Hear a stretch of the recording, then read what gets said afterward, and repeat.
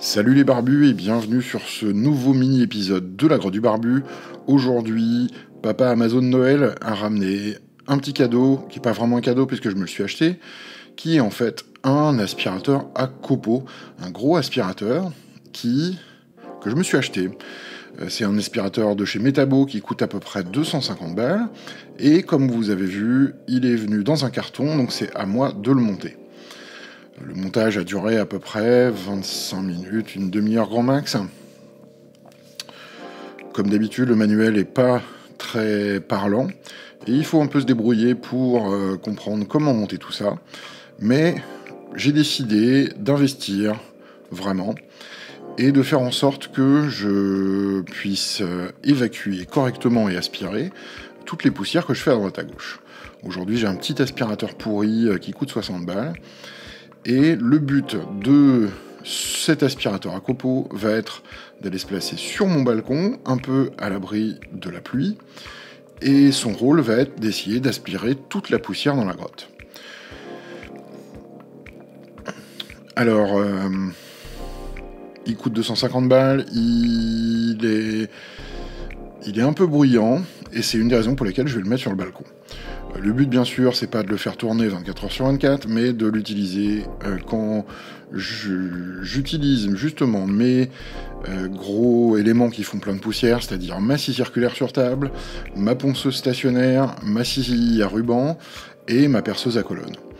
Euh, tous ces éléments que j'utilise aujourd'hui, mais qui génèrent beaucoup de poussière, et qui fait en sorte que je passe beaucoup de temps à nettoyer derrière à chaque fois que je fais quelque chose. Le but ici est donc d'avoir quelque chose de stationnaire et d'essayer de faire en sorte d'avoir un meilleur euh, aspiration des copeaux, des poussières, et dans un deuxième temps, euh, un meilleur traitement justement de l'air. Faire en sorte que ma grotte soit un peu plus respirable.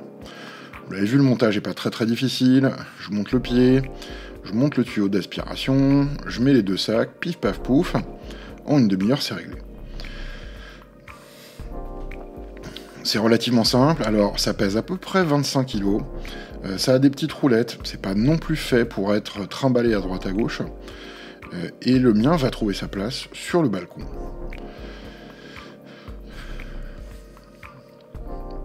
Voilà, le montage est fait, on va pouvoir le tester et surtout tester le bruit. Il est plus bruyant que ce que je pensais, mais moins bruyant qu'il aurait pu être. Euh, évidemment, comme tous mes autres outils, ça va être à utiliser avec modération pour éviter que mes voisins ne pètent un plomb et viennent euh, me virer à grands coups de fourche parce que je suis un gros vilain. Mais en gros, pendant que je vais utiliser mes gros outils, j'utiliserai aussi cet aspirateur pour essayer d'aspirer les, copeaux. Et ça aspire plutôt pas mal.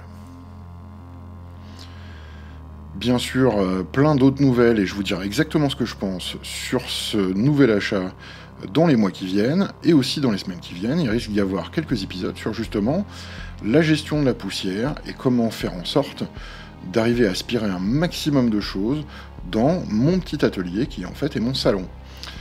Donc voilà. Euh, c'est tout pour cet épisode. Merci à vous de l'avoir regardé.